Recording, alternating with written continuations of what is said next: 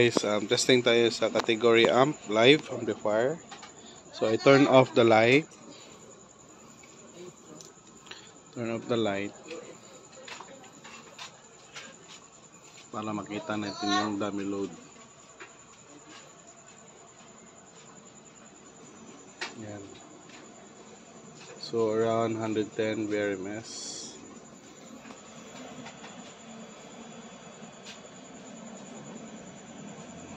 Number 11.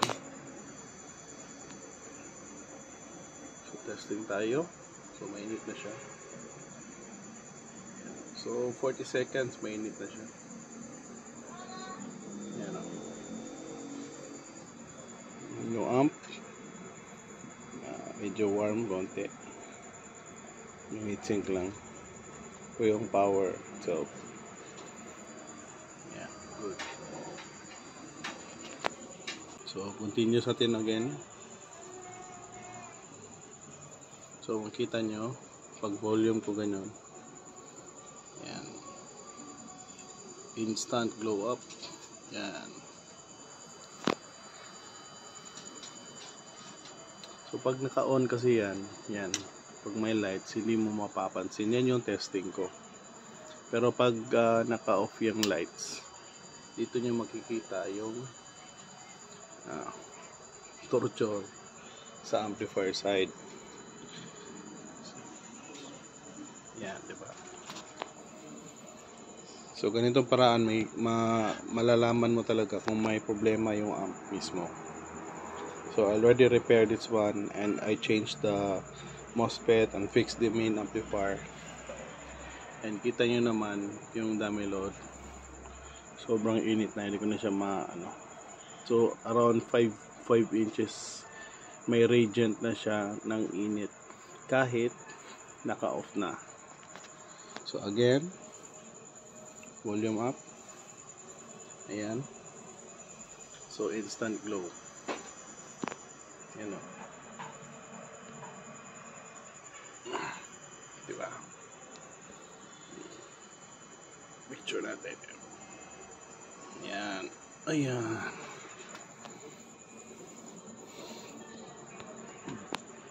So, on natin yung lights. So, ganun tayo mag-test, guys. Here, it's a category. And, ang gusto ko sa sa design na ito is, it is a grounded collector design. So, common collector siya. So, kung makikita nyo sa, ano, focus man, focus.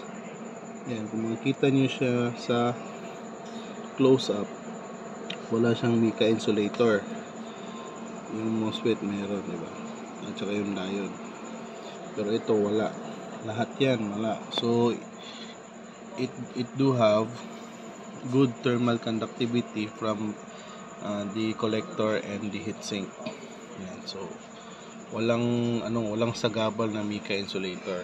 So yan yung kagandahan ng category 6 7 yata So, as of now is a 6. Parang 6 to. Naka-erase. Ah, merong tape. So, yan. So, it's a 6. Why may tape? Bakit may tape? Ayan, off natin muli. Yan. Turn on. Off natin yung lights ng camera. So, yan. Super instant lang yan. Ayan. So, off natin. Off. On ulit. Bilis, di ba? Off. On.